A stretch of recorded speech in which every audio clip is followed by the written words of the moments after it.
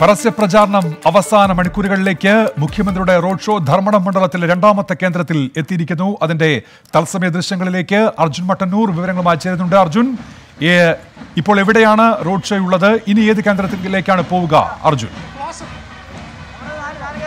ഇപ്പോൾ ധർമ്മടം മണ്ഡലത്തിൽ മുഖ്യമന്ത്രി പിണറായി വിജയന്റെ റോഡ് ഷോ രണ്ടാമത്തെ കേന്ദ്രത്തിൽ ആരംഭിച്ചിരിക്കുകയാണ്. ചിറക്കുനി അബു ചാത്തുക്കുട്ടി സ്റ്റേഡിയത്തിനടുത്ത് നിന്നാണ് ഇപ്പോൾ റോഡ് ഷോ ആരംഭിച്ചിരിക്കുന്നത്. മീറ്റ് ധർമ്മടം മീറ്റിലെ പീടിക വരെയാണ് രണ്ടാമത്തെ റോഡ് ഷോ നടക്കുക. ഇത്തരത്തിൽ എട്ട് കേന്ദ്രങ്ങളിലാണ് റോഡ് ഷോ സംഘടിപ്പിച്ചിട്ടുള്ളത്. ആദ്യ കേന്ദ്രം കേരളശ്ശേരിയായിരുന്നു ഇപ്പോൾ രണ്ടാമത്തെ കേന്ദ്രത്തിൽ മുഖ്യമന്ത്രി തുറന്ന വാഹനത്തിൽ റോഡ് ഷോ നടത്തുകയാണ്. നേരത്തെ കേന്ദ്രത്തിലുണ്ടായിരുന്നതുപോലെ കേന്ദ്രത്തിലുണ്ടായിരുന്നത് പോലെ തന്നെ നടന്മാരായ ഹരിശ്രീ അശോകനും ഇന്ദ്രൻസും അടക്കമുള്ളവർ ഈ റോഡ് ഷോയിൽ മുഖ്യമന്ത്രിയുടെ മുഖ്യമന്ത്രിയെ അനുഗമിക്കുന്നുണ്ട്.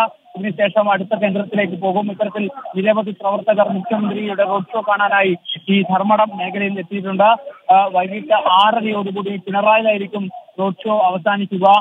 നമുക്കറിയാം കഴിഞ്ഞ തിരഞ്ഞെടുപ്പിൽ മുപ്പത്തി ആറായിരത്തി തൊള്ളായിരത്തി അഞ്ച് വോട്ടുകൾക്കാണ് പിണറായി വിജയൻ ധർമ്മടത്ത് വിജയിച്ചത്. ഇത്തവണ വലിയ ഭൂരിപക്ഷത്തിൽ വിജയിക്കാൻ കഴിയും അത്തരത്തിൽ ഭൂരിപക്ഷം ഉയർത്താൻ കഴിയുമെന്ന പ്രതീക്ഷയിൽ തന്നെയാണ് ഇടതുപക്ഷം. അതുകൊണ്ട് തന്നെ മുഖ്യമന്ത്രി ഏതാണ്ട് രണ്ടാഴ്ചയോളം ധർമ്മടം മണ്ഡലം കേന്ദ്രീകരിച്ച് പ്രചാരണം നടത്തുകയായിരുന്നു. എന്നാൽ ഇതാദ്യമായാണ് മുഖ്യമന്ത്രി തുറന്ന വാഹനത്തിൽ റോഡ് ഷോ നടത്തുന്നത്. നേരത്തെ പൊതുയോഗങ്ങളും മറ്റുമായി മുഖ്യമന്ത്രി പ്രചാരണം മുന്നോട്ട് കൊണ്ടുപോവുകയായിരുന്നു. പരസ്യ പ്രചാരണം അവസാനിക്കുന്ന ഇന്ന് ഏതാണ്ട് മൂന്ന് മണിക്കൂർ നീണ്ടു നിൽക്കുന്ന റോഡ് ഷോയാണ് മുഖ്യമന്ത്രി നടത്തുന്നത്. എട്ട് കേന്ദ്രങ്ങളിലായി ധർമ്മടം മണ്ഡലത്തിന്റെ വിവിധ ഭാഗങ്ങളിലെ എട്ട് കേന്ദ്രങ്ങളിലായി മുഖ്യമന്ത്രിയുടെ റോഡ് ഷോ പുരോഗമിക്കുകയാണ്. ഇടതുപക്ഷ നേതാക്കളടക്കം ഇടതു നേതാക്കളെല്ലാം തന്നെ ജില്ലയിലെ പ്രധാന നേതാക്കളെല്ലാം തന്നെ മുഖ്യമന്ത്രിക്കൊപ്പമുണ്ട്.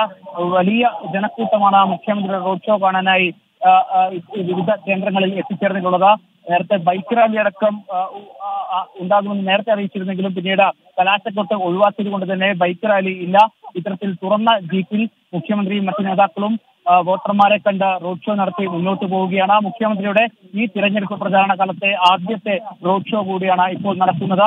എന്താണെങ്കിലും ഇപ്പോൾ മുഖ്യമന്ത്രിയുടെ രണ്ടാമത്തെ റോഡ് ഷോ പുരോഗമിക്കുകയാണ്. ധർമ്മട മണ്ഡലത്തിൽ രണ്ടാമത്തെ കേന്ദ്രത്തിൽ മുഖ്യമന്ത്രിയുടെ റോഡ് ഷോ പുരോഗമിച്ചുകൊണ്ടിരിക്കുന്നു.